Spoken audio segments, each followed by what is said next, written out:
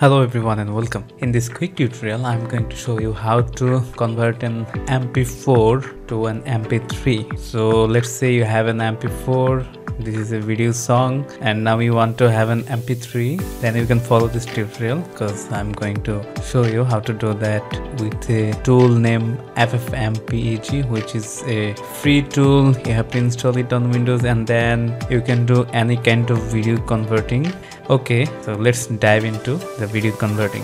First of all if you do not have installed ffmpeg on your windows you can follow one of my tutorial this one. So i'll give the video link in the description. You can follow and install this software on your computer. Trust me if you install this you are allowed to do any kind of video processing and converting with just commands. Okay if you do not have installed follow this tutorial and then continue on assuming you have already installed this. What we have to do is we have to go to the directory where we have the files we want to convert to mp3 here I have a song, a video song of Jake Bugg and if I play this, this is the song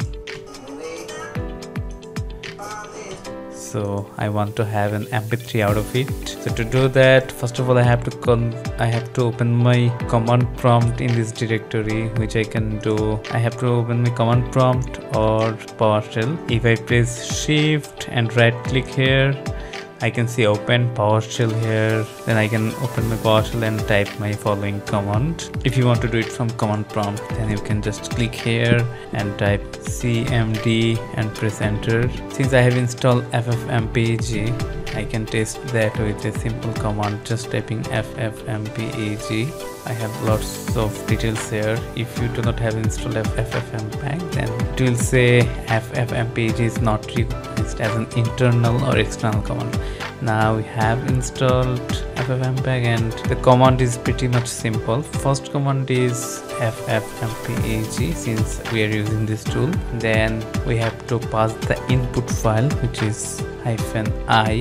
Hyphen i means input. And here the input is my file. My file name is jake me and you audio.mp4 yeah this is my input. What is my output? You just specify the name of your output mp3 just make sure the file name ends with a .mp3 i'm typing me and you dot mp3 that's it. So first i have passed the input file. Since it have spaces. It is actually put in the quotation mark inside the quotation mark and I have provided a new file the name of the output file will which will be generated after pressing enter. I didn't put any quotation mark since I do not have any space in the name. So that's it. I just have to press enter and it will start processing okay? I've just pressed enter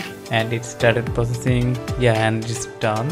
If I go to the directory now I can see I have another mp3 file which wasn't here earlier. This was the earlier file a video file. Now I have the audio mp3 file if i play this yeah it's playing and it's the same quality same best quality. So guys if you haven't installed ffmpeg you can follow this tutorial and have the full video processing power on your ordinary computer. And if you are helped with this tutorial have learned something out of it please consider subscribing to my channel.